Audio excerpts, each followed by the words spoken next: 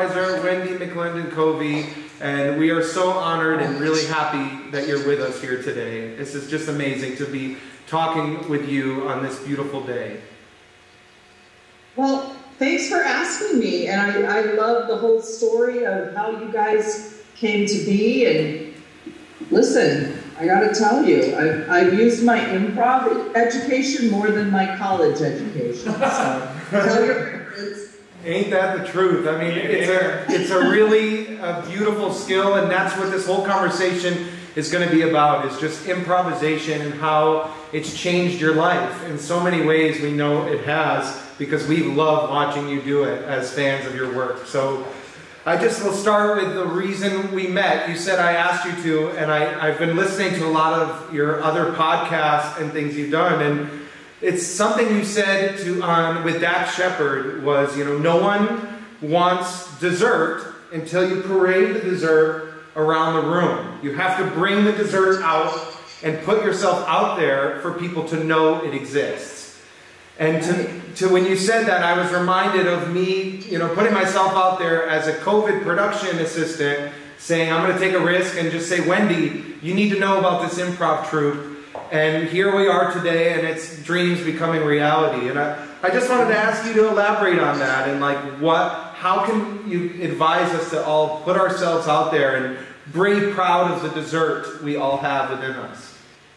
Well, that's that's kind of um, you know a dumb little story that I tell, but it applies to all areas of your life. Like, don't just sit around and wait for things to come knocking on your door because guess what? Nothing's ever going to. Mm-hmm. You have to go out and be the magnet.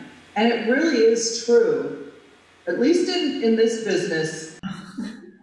Again, no one knows what they're looking for until you show it to them. And that's the same with any area of sales. And it's it's the same with you know people who meet their true love. They've got this list of what they think it is but then they meet somebody else and it blows them all away. Yeah. Blows uh, blows away all those expectations. So get out there and be easy to find. And you will start attracting what's yours. But it's not going to happen if you're just going to be a basic shy person and not go for what you want. You know do you want to sit around talking about your anxiety and how that kept you from doing things boring. yeah, you're so right. It's a it's a choice in life. You know, your your thoughts become you, and whatever you're focused on, if you're focused on your anxiety and your negative, you know, emotions and things, they'll just keep coming. You'll become addicted to them. And you know, I, I heard you talking also with Alec Mapa on Hot Mess. You know, a, a therapist. I really dive deep. You know, and saying, I, I love it. I love it. Yeah, I mean, I, I just was was listening and, and how you say, what are you getting out of this state? You know, you're talking about in life, whatever you're you're in this state of mind, what are you actually getting out of it? Because you're always getting something, right? And Even if it's a. And I just wondered, what do you get out of the state of doing improv? You know, and what is the therapeutic value of this art form? Well, you know, when I was coming up, um, my I lived with my parents for a long time, and they were not thrilled at all with me becoming an actress. They hated the idea. So for many years, I was lost. I did not know what I was trying to do. I would go to school and then drop out, you know, take dumb jobs, and you know, nothing was lighting me up, and I was depressed all the time. But I would try to sneak off to auditions but I didn't know what I was doing, and no one around me knew what they were doing. So I would sneak up to LA, and sometimes I'd get so nervous about an audition that I'd just drive right past it, you know, and waste my whole day. Um, but I got married at 26, and my husband said, Well, why don't you just try it? I think you can do it. Why did you know? Do it, just try. So my best friend that I was working with at the time at this horrible little Ramada Inn near Disneyland we decided, okay, we're going to go to the groundlings. We're going to take class there because we had seen a show and it was like, oh my God, my mind is blown.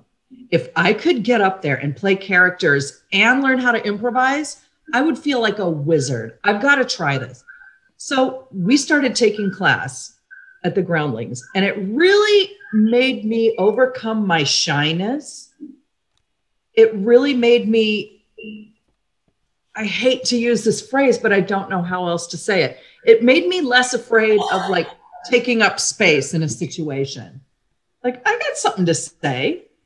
And what I have to say is not stupid, you know? Yeah. Maybe it's not the funniest thing, mm. but I can add information to a scene and help somebody else. I can add building blocks mm-hmm. to this. I'm useful in this situation. So I thought, well, you know what? I'm just going to keep going until they tell me to stop because that's how the groundlings is. Like, mm. keep going. And when there's nothing there for you anymore, you get the boot. Mm. Well, I never got the boot. and I stayed in the company for seven years. But by that, by the time I got into the company, I was working so much that I didn't get to do as many shows as I wanted. But boo hoo, like that's a terrible thing.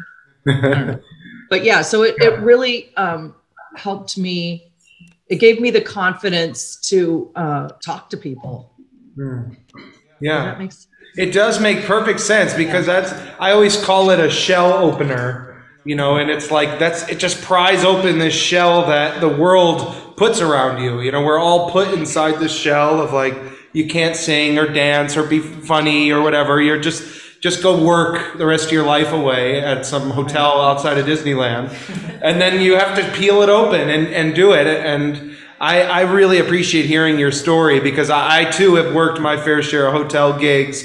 And I know this crew of amazing actors has all juggling it, and there's a lot of actors who couldn't make it today because they're either doing background gigs in the Hudson Valley or they're working. Uh, we have someone who works in hospital um, who send in some questions. But I wanted to open the floor up to this amazing room and just have this them introduce yourselves and just say when you got your itch of what happened while you got into this world and you know just talk we'll open it up to the floor a little bit and, and if you have a question you can ask too.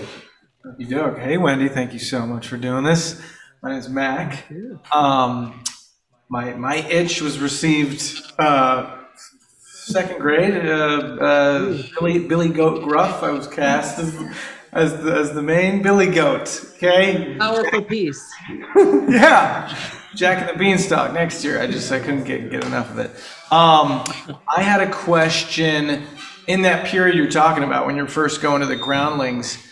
Um, was there a point where you uh, started maybe like your own D DIY project with friends or something, where you're like generating content on your own, like without a school or anything to tell you you know yes. what to do. Yeah that's a good question. Um, i remember when i was in the program at the groundlings and back then it was so impacted that there were waiting lists and there were i mean years could go by between your first and second classes.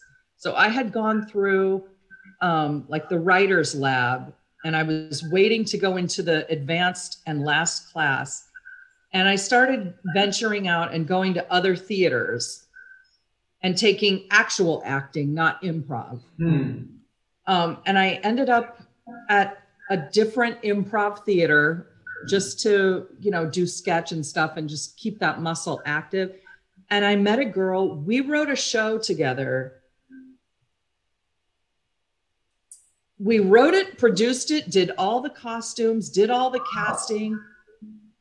And that thing ran for a long time and that was very gratifying because um, and like we enlisted our husbands to do the sound and the you know sell the snacks and stuff at one point my in-laws were working the snack bar like it was a hmm. really homegrown situation but there were nights when we didn't know anybody in the audience hmm. like it, for, you know how it is to pack shows like you're always yeah. handing a flyer out to somebody like come to my show blah blah blah yeah. well, after a while the audience was strangers, total yeah. strangers.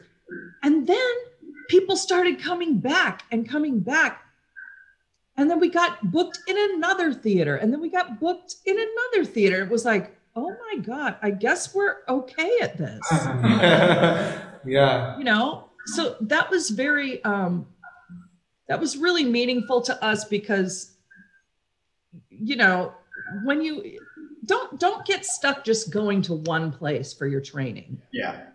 Yeah. I, la used to be very myopic in that way like oh are you going to io west Mhm. or are you going to second city on melrose the groundlings blah blah blah like it was almost like gang warfare with these different improv Yeah. theaters but when if you're smart you'll go and tr- do a little bit of training everywhere Mm. Uh-huh. Uh-huh.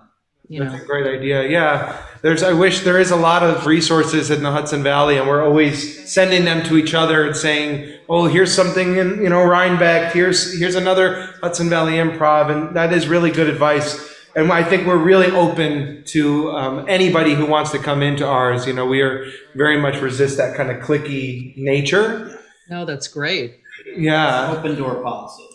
Yeah. Open door policy. We did have a nine-year-old with us in our early ages, and it was a it was a challenge. There was a, a lot of a, a different age gap, and I wanted to bring that up because I I saw you doing an improv thing with some younger kids on a stage, you know, online. I, I was like digging Yeah. and it's like kids kids are somehow really good at this. I, I myself have directed a play with kids. But what is it about the child, you know, inside of us that like you're willing to pretend and, and how how can improv help kids, you think, guide them in their life in that same way? Well, the basic thing about improvising is listening and then responding accordingly. Okay. And giving yourself permission to play. Well, kids are great at that. But then once they hit teen, when they become teenagers, they get self conscious. Mm. And then you kind of stay that way for the rest of your life, unless you really do the work. um, so yeah kids kids are great with playing improv games and i bet if you started just like an all kids workshop you would be bombarded Yeah. Kids I are really good at Something we should do as a group, you know, it's a that it's a beautiful thing to do to, to exchange that. And you know, second grade is when you got the itch. Oh, yeah. You know. So just so you want to pass the mic, anybody else want to tell their their story and, and ask a question? Hi, Wendi. Thanks so much for um, coming to talk with us tonight. Um, thank you um, honored, truly. Um, my name's Taylor Chappelle, um, and I, uh, I guess you know it's it's strange. I got the, the I, I didn't really consider it at the time, but uh, when I was probably around eight, um, I did this thing called LARPing. I don't know if you know what that is. I know. Um, larping LARPing. i'm aware yes, Um, yes. and so, and so, you know, I was one of those kids that ran around with a foam sword and like had these little foam balls and was like, oh. you know, damage, you know, and like casting spells and all that Yeah. jazz. And so you had to create this character that was like, you know, a, a, a person, and then you would go into these situations where you, there was no script, there was just a story being told, and you had to, you know, portray this character who was you. And and so that was really when I started acting, I think. Um, and it wasn't until high school that I actually got into like doing stage plays and and doing know, theater. And you know, I went to college and uh, you know did some theater stuff. I got a theater degree, unfortunately.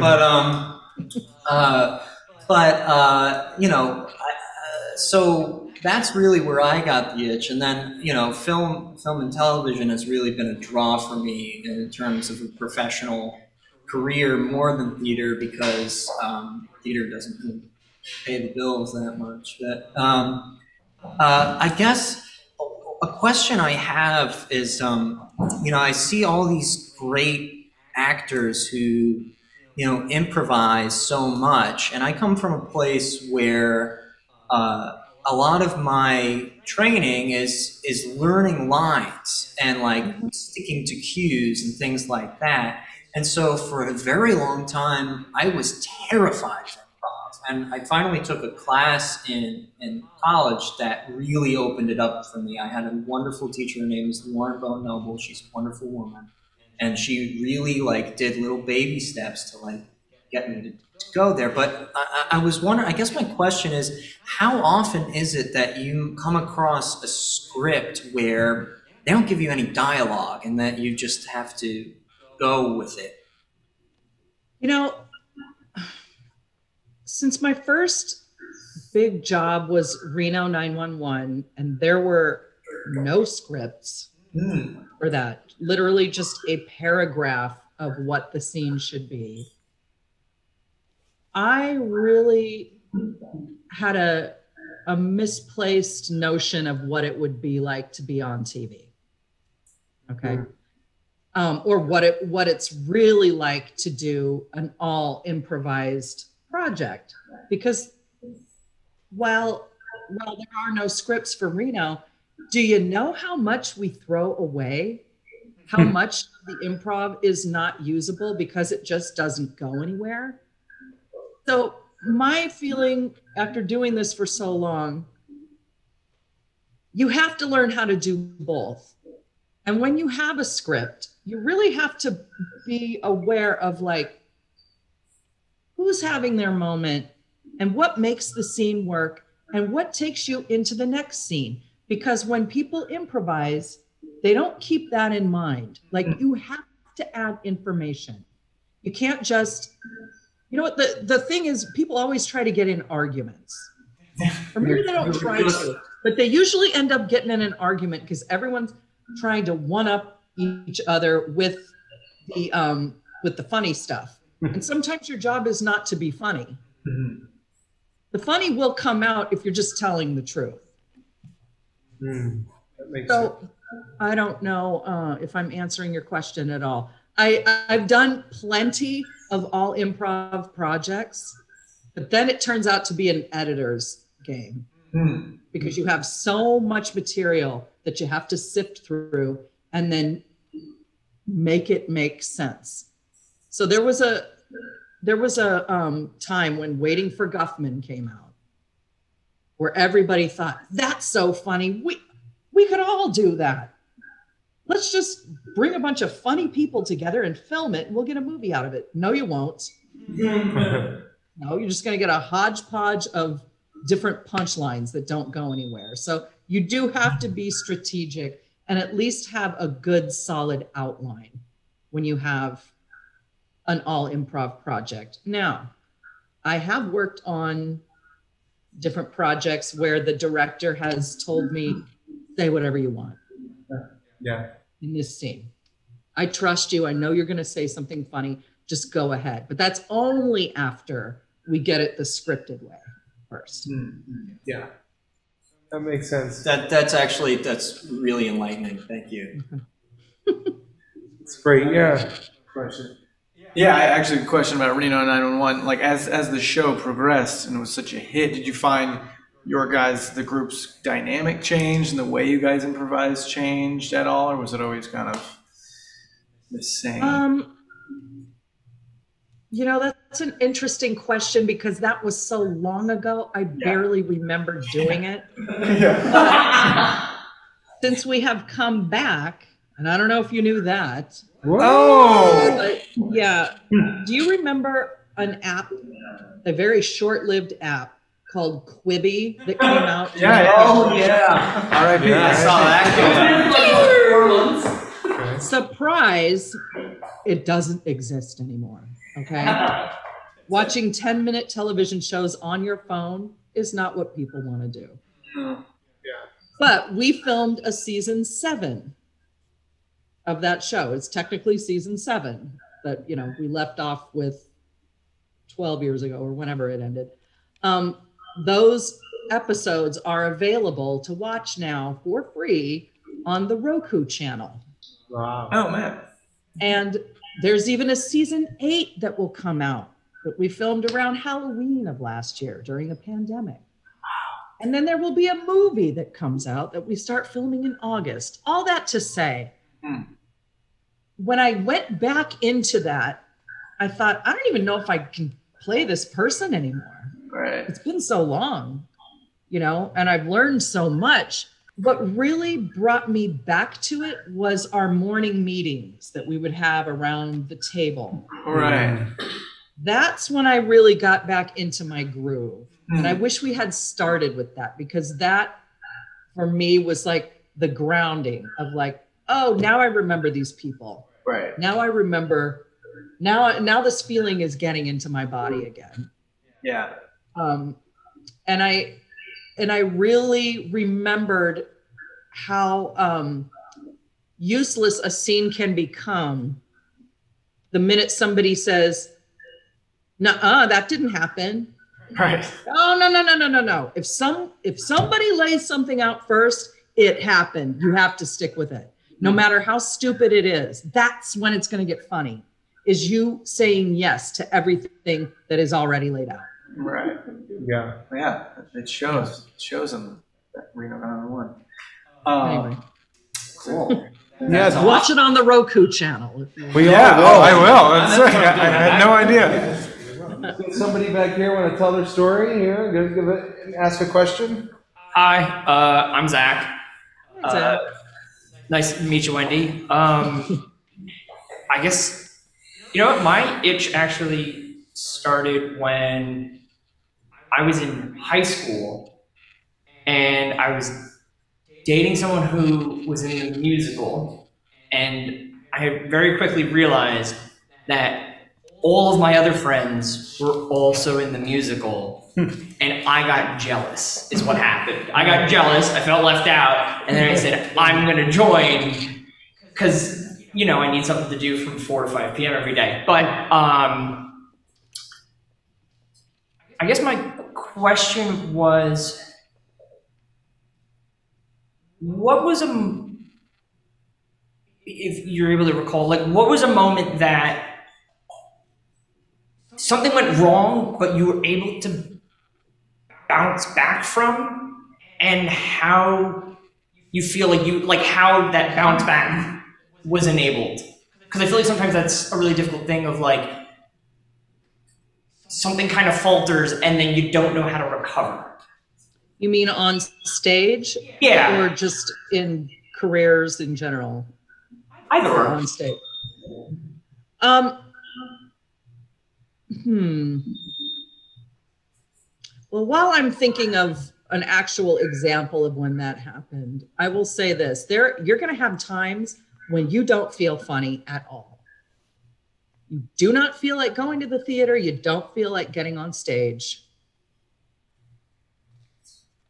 But you got to get those 10,000 hours behind you you know, and they're not always going to be stellar. Now, when I say 10,000 hours, you've heard that theory, before, Yeah. right? Like if you want to get good at something, put in your 10,000 hours. Um, I still feel like I'm putting in mine, but you, you still need to show up. You still need to put your game face on. And you still need to try because you've got scene partners up there who are relying on you. So if you don't feel like you can be funny that night, you sure as hell can help someone else be funny. You can make yourself the butt of the jokes for the night. Just at least be generous with with your talent in that way. Does that make sense? Yeah, so you're saying like if, because you know like you have those nights and you like you're feeling hot, you're on fire, Yeah. but not everyone's night is the same night, and not Yes. every night back to back. Mm-hmm. So sometimes it just it recognize when it's not yours, and like but still show up. You know what I mean? Like still still show up. because someone else can't shine if there's no one else with them. That's it. Right, right. So you can set them up for a joke, or I hate to say that, not jokes, but you can set them up to have a good piece of information come out. You can always fall in love with someone. You can always start crying and make a huge admission. Hmm. What I feel works well is if you if you're on stage and you just don't know where to go with it, think of the last thing that was said to you and exhaust that premise. Exhaust whatever it is. Someone calls you a thief, you are the thiefiest thief that has ever thieved. okay? You come from a long line of thieves.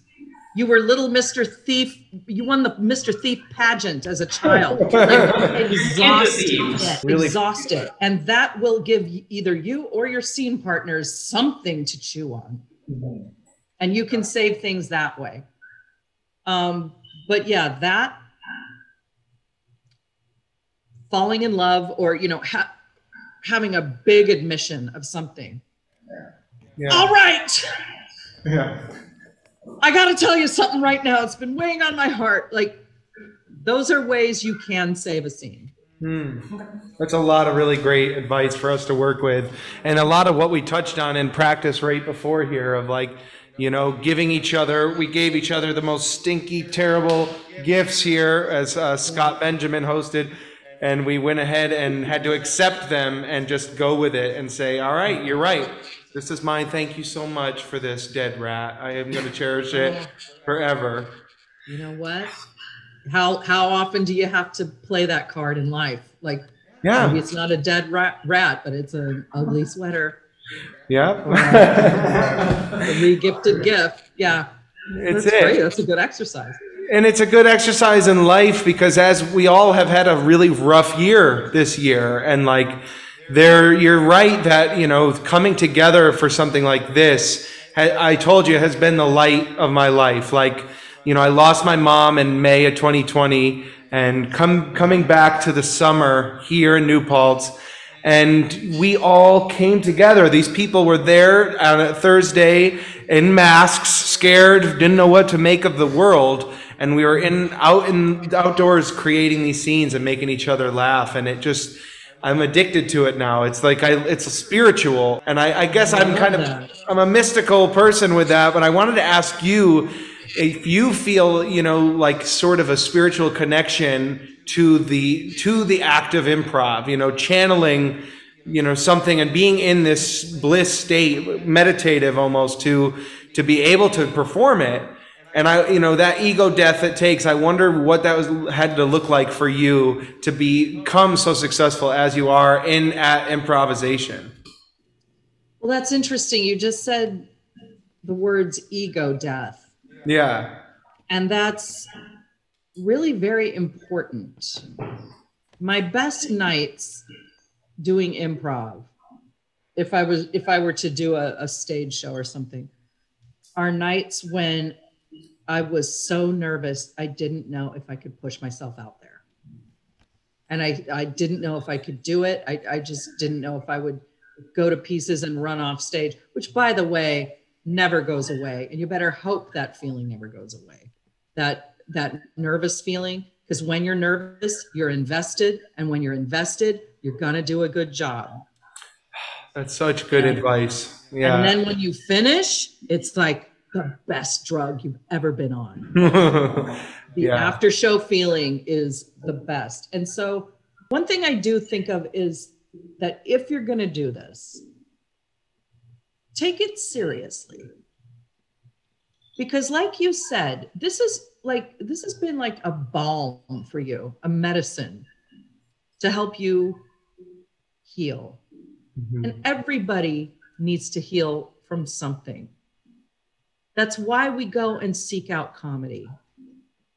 So when you are lucky enough to get to do a show, doesn't matter where it is, doesn't matter if you're in your cul-de-sac or, you know, in your living room or on a big stage. People have shown up, they want to be transported. So transport them. Hmm. And you're lucky to get to do that. Yeah. So And you still see it that way to this day. You know, it's like uh, with great power comes great responsibility. It's like, you know, I think you are someone who's still working and you said you're still putting in your 10,000 hours. So it's, you know, you're still find like there's this, you can never totally scratch the itch because it's not about us. It's about what you're saying, giving others the platform to be transported and to art really can do that and improv especially can be a very healing, you know, endeavor. I, I think that's a, a great way to put it. And you know, we we all come together and have just these amazing memories. And and I think this was a question, um, one of your questions, which was, what is like one of the all-time favorite improv show, or it doesn't have to be a show, but a moment in time, first thing that comes to mind, where you just felt like, wow, this is what we do it for. This is why I do what I do. a few times I've been fortunate enough to go overseas and um, entertain the troops. Wow. Okay. So the last time I did that, it was New Year's Eve 2011. And I think I had finished Bridesmaids, but it hadn't come out. And so people mostly knew me from other things. And I have to tell you that sometimes our shows were terrible. they were terrible. But other times they were good, you know, and but just having that feedback of these exhausted soldiers Hmm. in Iraq that wanted to come home. Okay. They were filthy. Sometimes the water places, sometimes it wasn't. Sometimes they had TVs, sometimes they didn't. But to get that feedback of like, oh my God, thank you for letting us forget everything for a little while. That was like, okay, that I'm I'm very humbled that I and then other times, I mean, I remember a time when I uh, was doing press for a movie, and they took me aside and threw me into a conference room full of bloggers. Didn't tell me this was going to happen, and said, "Just lead this press conference."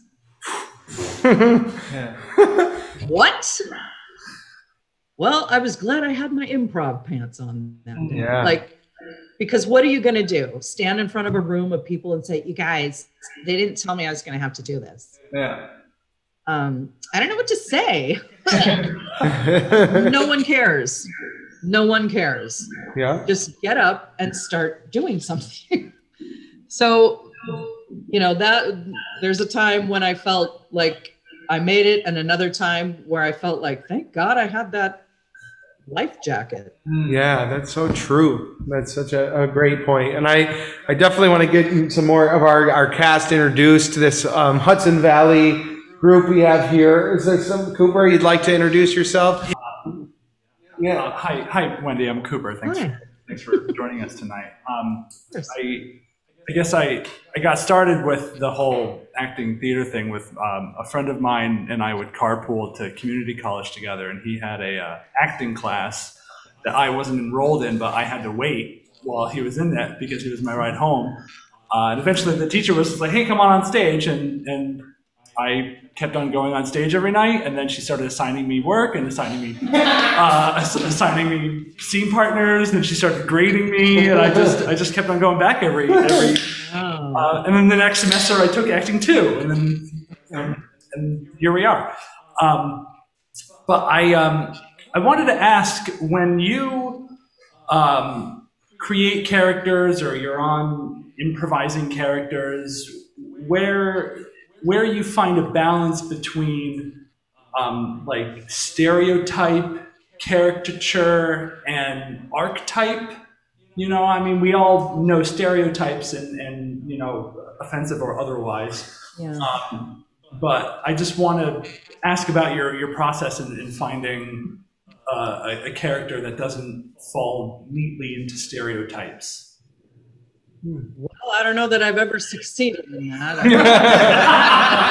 Not true. you just you just do what you can. I try to make I try I try to draw on people that are close to me Mm. and take characteristics from them.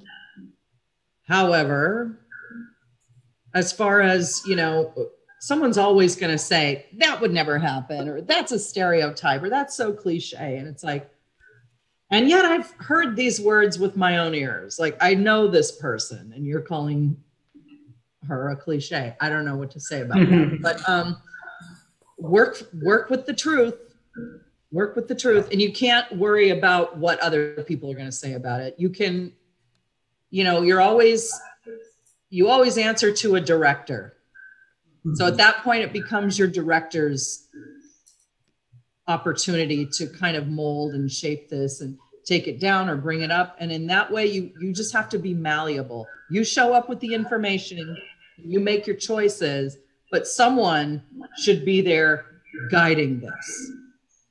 Now i've i've been in projects where you know you leave that to a director and turns out the director is terrible. Can't do anything about that you know there are certain there are certain movies that i will never speak about again. Because i i feel like well you really screwed me. I did what you said and i trusted you and you really you really uh screwed me. But you know, that all your best. Yeah, Yeah. your best is all you can do.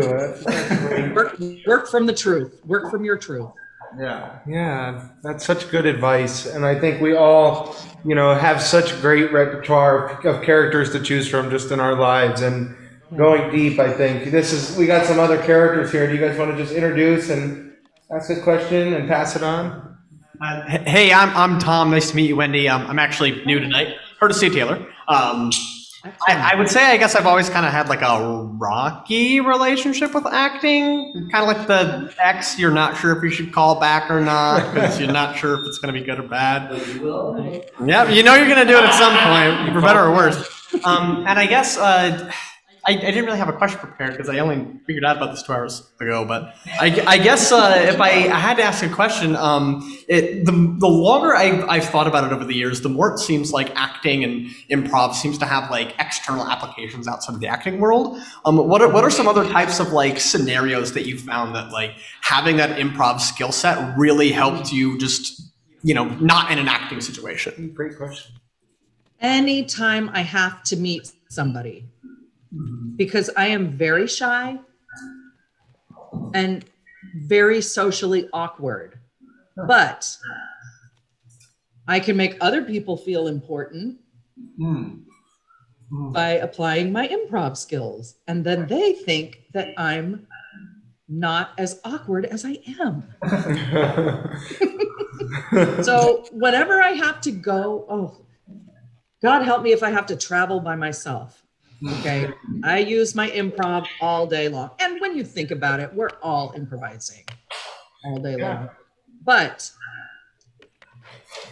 the people that I have found are the best at improvising are cops and lawyers.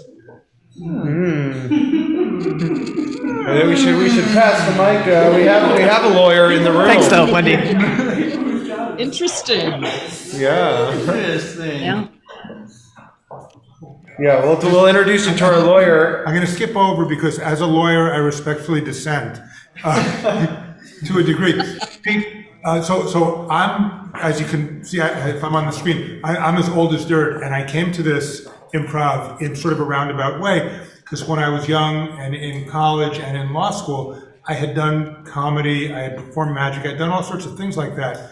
And if I had paid any attention to myself, that's what I would be doing. And by mistake, I ended up going to law school and I ended up becoming a lawyer. And when I was older, I said, you know, my wife actually said to me, you were supposed to be a clown. Go back and figure out how to do some comedy. And I started doing improv and I got very lucky with it and I passed a lot of auditions and I got stuff. And uh, it, it's really been fun. But I think we do, as lawyers, have to improvise like in court because you don't know what the witness is going to say and you have to mm-hmm. figure out how to roll with it, even when it doesn't go your way. Yeah. On the other hand, one of the, one of the distinct differences that I've noticed is that improv is all about yes. And law is almost always all about no. Because if you're mm. in a lawsuit, if the other side says grass is green, it's your job to say no, it's blue. You know, so you, you that's why I find that my life is very schizoid in that way. Because during the days I'm saying no a lot, and during the evenings I'm saying yes a lot, which I find more fun. Um, but but yes, so as, as, as well, I think cops are actually better at it because I, I do some criminal law. They're really good interrogators, and they know how to ask a question that's going to draw somebody out and make the person feel comfortable. And the hmm. cop, if they're good at it, can sort of pretend that they're the friend of the suspect. And, you know, you want to let out what just happened. You know, I, I understand what you're going through. Tell us how it was. And, and they're very good at drawing that out. So I think, so actually, which is making me think, when you were sort of preparing for Reno 911, did you work with cops to try to understand how they work? I love that question because yes, I did. Not that it mattered. After a while, it was like, I'm just, I'm going on ride alongs just because I find this fascinating. Yeah. But, um, you know, I tried, I tried to like learn how to do a proper hold and, you know, how to enter a room with a gun and do all this stuff. Um, but it didn't matter in that show because we were so terrible at what we did. We were just like the worst of the worst. but when I would go out on ride alongs, you just reminded me of something. I went on a on a stakeout one time. Mm. A, a sting, a prostitution sting. And I have never seen such masterful performances as the girls that were all hookered out and like waiting for these Johns to come get them. And they, I was listening to, you know, because they were all wired and I'm listening to them. And in between, you know, drive ups, they're just talking about their kids and, oh, you know, Halloween coming and I get a costume and blah, blah, blah. Guy would drive up, hey, how much for X, Y, and Z? And then they, would just turn into these like tough mamas. I, I wanted to hand out Oscars and Emmys. These women were so brilliant. Wow. Wow. And um, well, I won't go any further with that, but but uh, yeah, that that was some really interesting undercover stuff that I saw, and dangerous, dangerous. It is. I like our profession more, but I think you you know it's a But good for you for. I wanted to just say one more Yeah. thing to our attorney here. Um, good for you for getting back into it, and you know, there is no such thing as too old to do anything. Like that's something I just don't subscribe to. And um, like, hey, you are never gonna regret doing this. No, I, I've, it's been incredibly lucky, and Yeah. uh, because I'm sort of weird in being in, infinitely older than everybody else I'm around, I have like firsthand memories of the Nixon administration. So, uh, you know, as, as a result of that, I end up when I have friends who are putting on a play or filming a pilot or whatever. If they need the boss or the principal or the dad, I always get called in to do that. And because I have completely diminished expectations, it's always a surprise. So that's, that's, that's been nice. Well, there you go. I like that.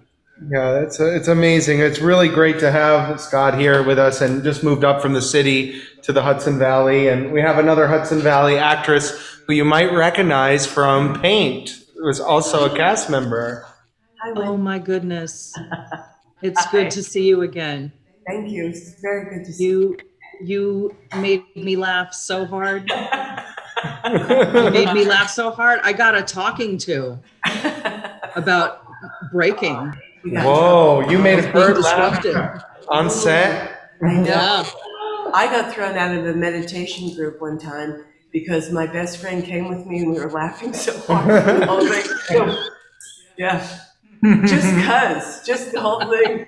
We were just supposed to be so holy and so like so, like in touch, you know. We just were, but I and I do have to apologize because when I, I was I was really scared. You know, you talked about that before. I was really scared, and you were so lovely and said to me afterwards that I made you laugh, and I and I was really emotional, and I said, "Oh, long as you're happy," and I think you thought I was being snarky, but I wasn't. I really meant it. I was really, like I was so so happy. But as long as we're talking about old people, I I think a few years on Scott because because I, I am I am an older person, but um, uh, and I do kind of worry about being typecast as like you know a crazy old lady, you know that sort of thing. But I do feel, and this is for you because you're young, that there's so Well, much. not. Well, yeah, you are, and there's so much. 51. Well, it's a baby.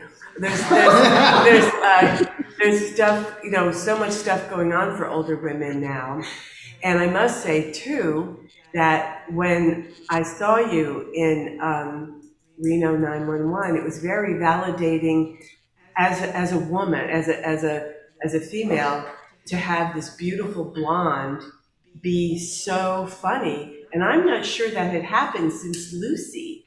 And it was so mm-hmm. validating you know it was like like so enormously validating and wonderful.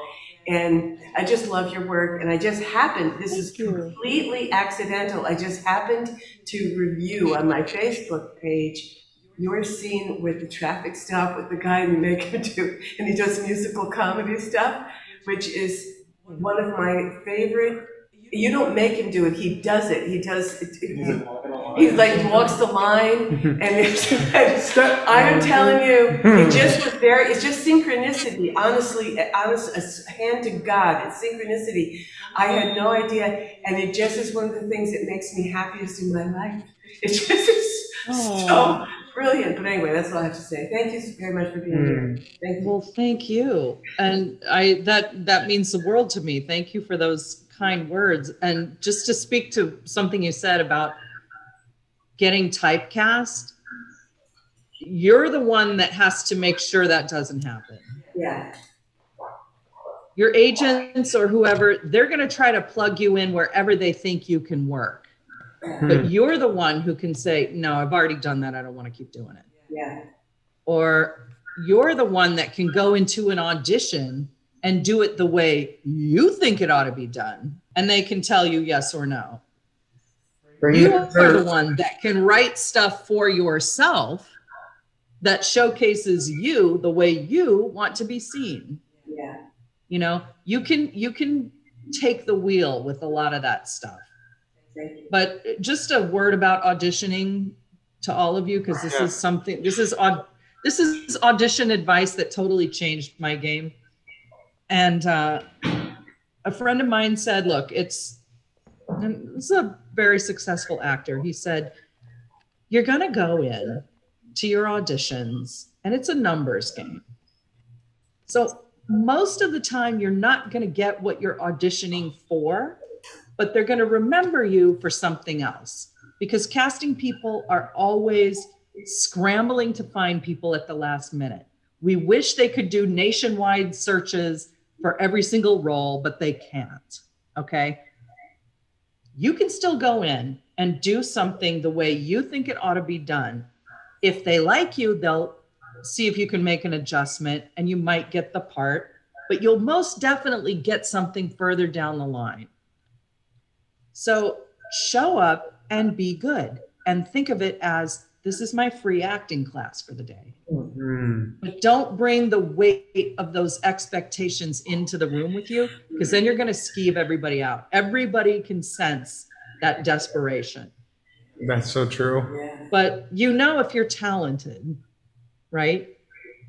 You know you have every right to be there. And that's your time, your audition time, nobody else's. Maybe it's five minutes, but that is yours. So you go in and show them how you would play this character. Hmm. I love it. Yeah. Killing it.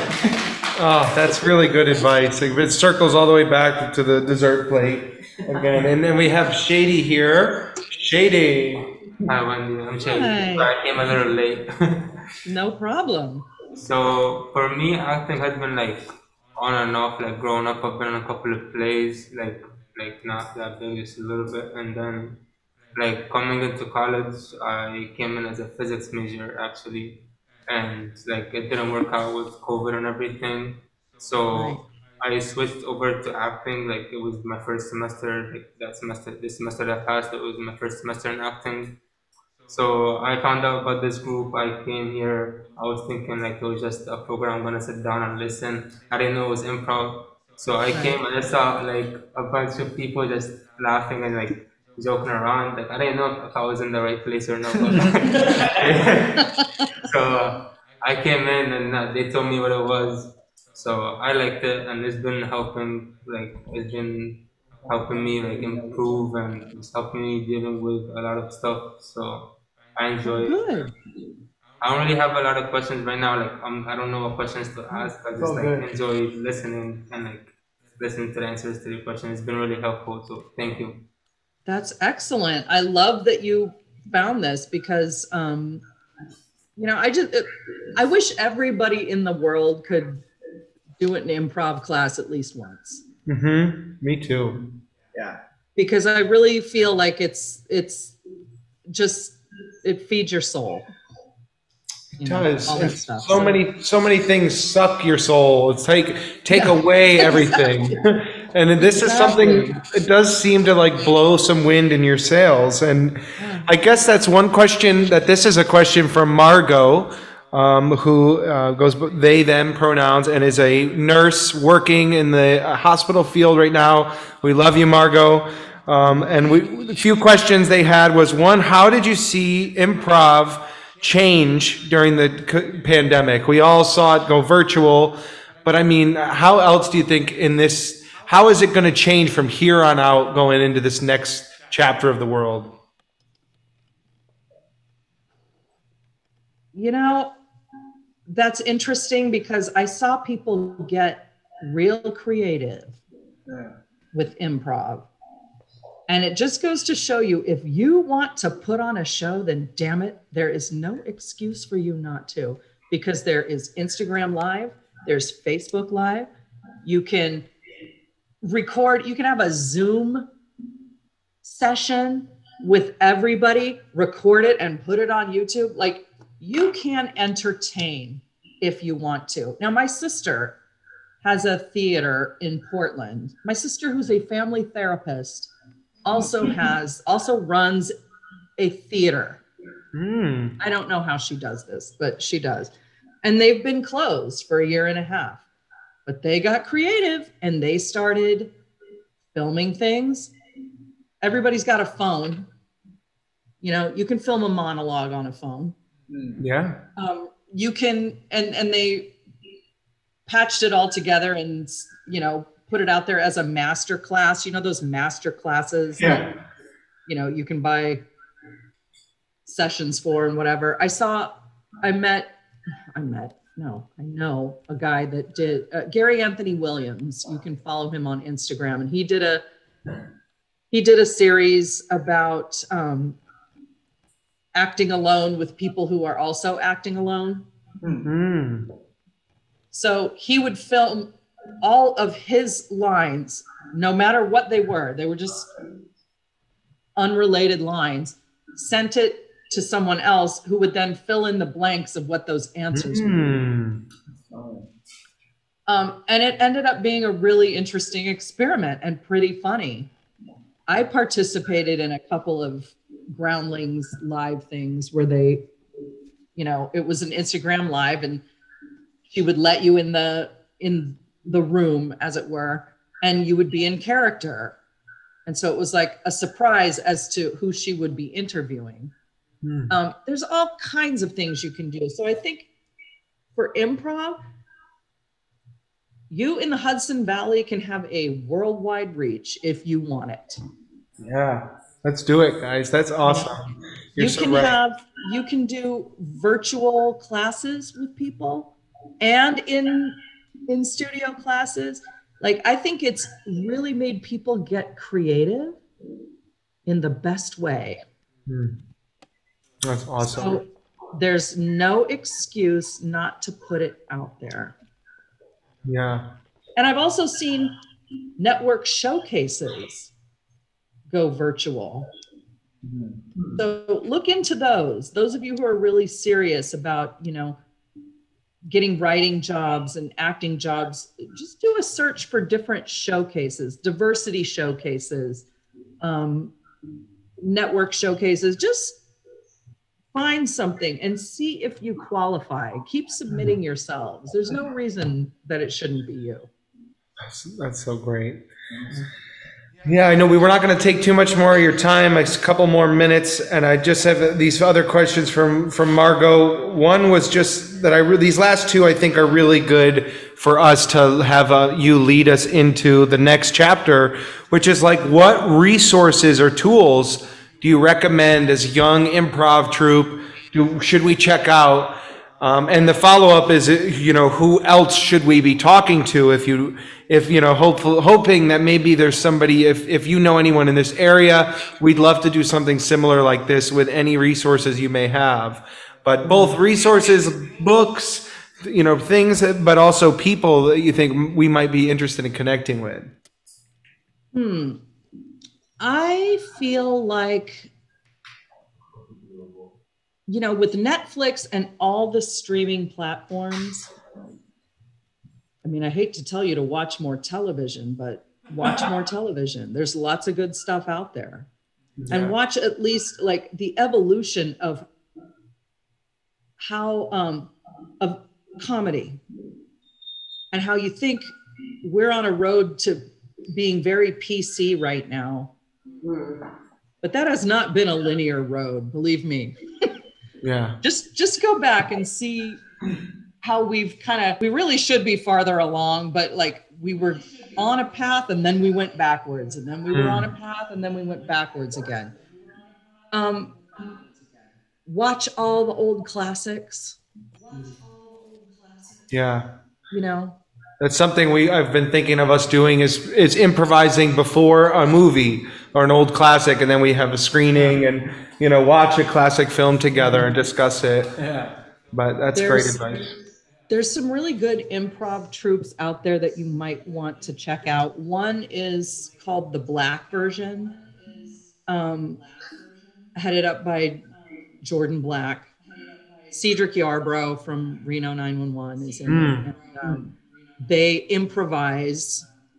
You you throw them out a movie that actually existed, and then they do the black version of what this movie would have been. Okay, really really funny.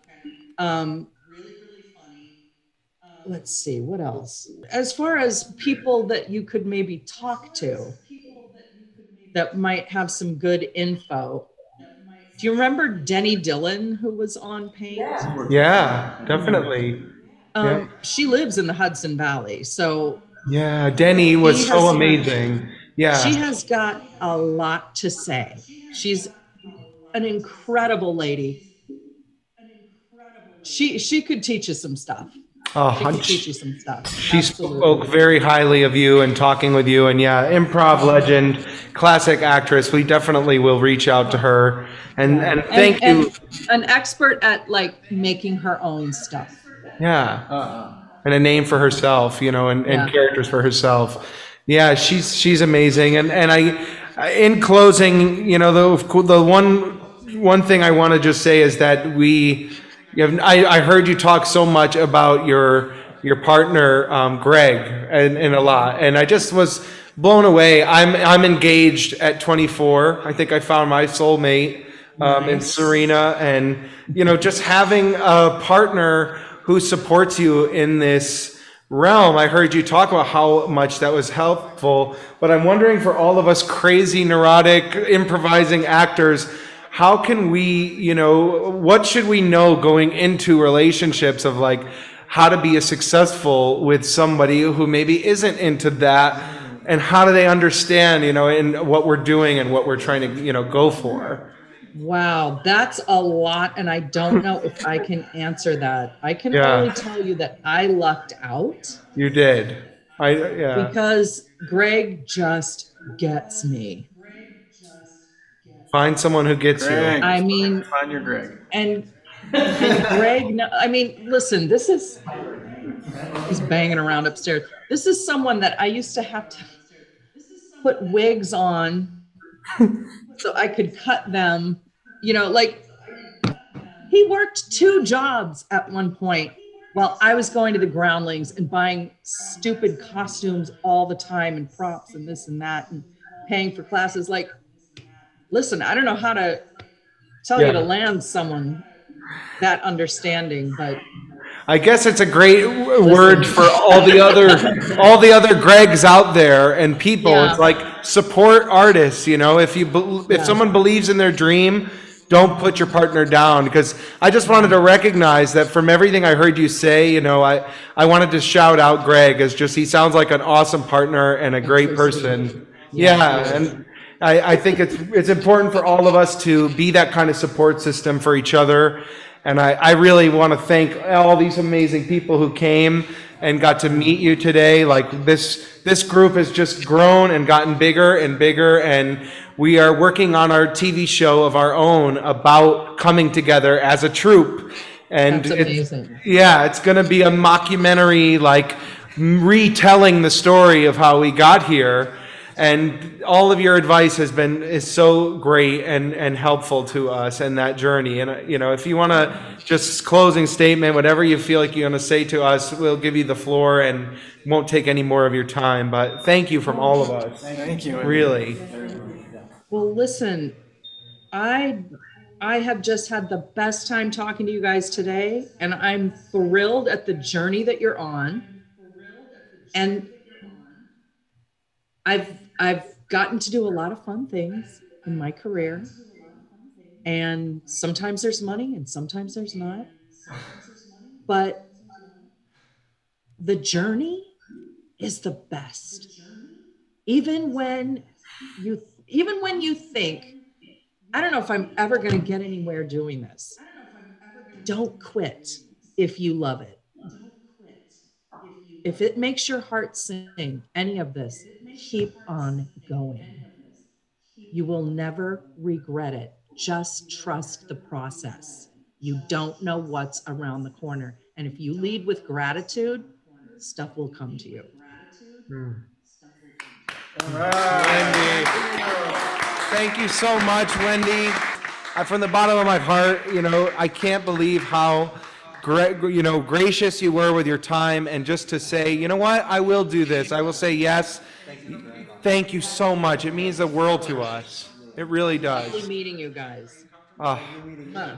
Well, we have we have so much more momentum. In closing, the last thing, will you give us a character, a setting, and a first line for us to make a sketch on our own, and that'll we'll close it off. Just give us a, a world, a character, and a di- a line a line of dialogue, and we'll and that's that's something we're going to do with every guest. And uh, go ahead and make a sketch to go with this. okay Setting and a first line for us to make a sketch. pet psychic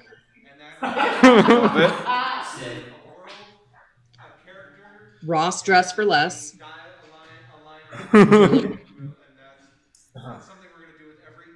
your first line out i didn't save my receipt Love it. Thank you so much, Wendi. We, we love you. Thank you. Wendi. Have a beautiful night. Thank you so, so much. All right.